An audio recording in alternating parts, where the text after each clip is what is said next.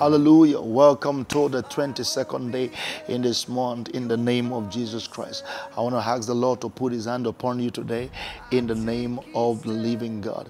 The Bible says in Isaiah chapter 40 and verse 1, the Bible says, Comfort, yes, comfort my people, says the Lord.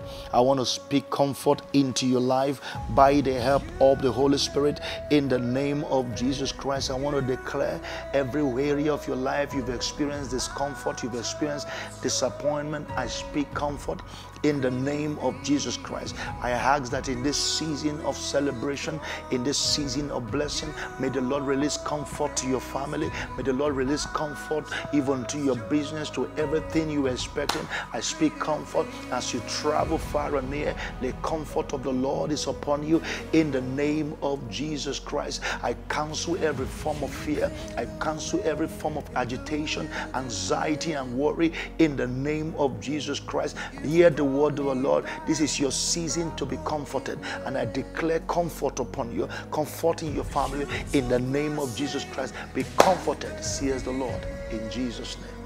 Amen.